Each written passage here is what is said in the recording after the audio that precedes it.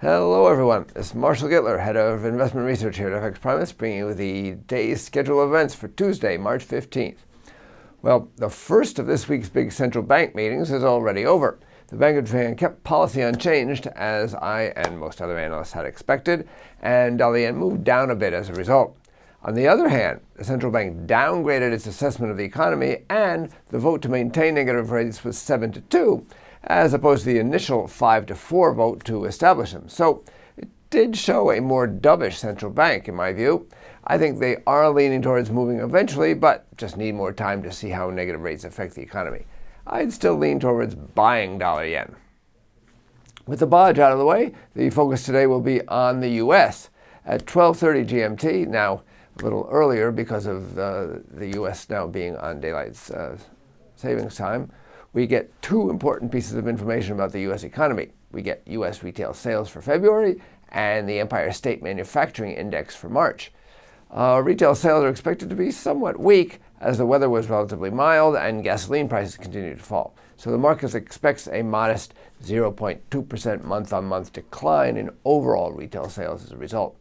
Excluding autos and gasoline, uh, sales should be up 0.2%, which would be less than in January, but still positive at least.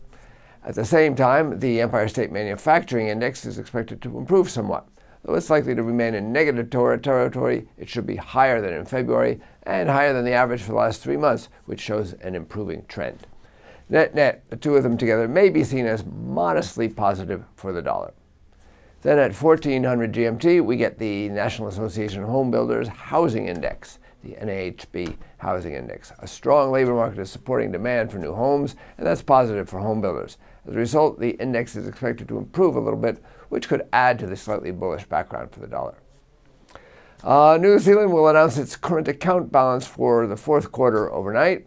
It's expected to improve notably despite weak uh, demand from China and falling dairy prices. That could boost the Kiwi a bit. Although the data are old by this point, and the Chinese, eco- Chinese, China's economy has slowed further since then, and uh, dairy prices have uh, also fallen. Now, there's one other thing on the schedule that might not yet affect the FX market, but you should be aware of nonetheless. Today, there are U.S. presidential primaries in several big states. The ones to focus on are Ohio and Florida. That's because two of the Republican front runners, uh, I'm sorry, two of the of Republican front runner Donald Trump's opponents are from there.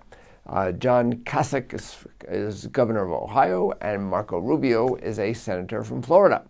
If Trump wins both states anyway, it'll pretty much eliminate their chances of winning the nomination and sew things up for the Donald.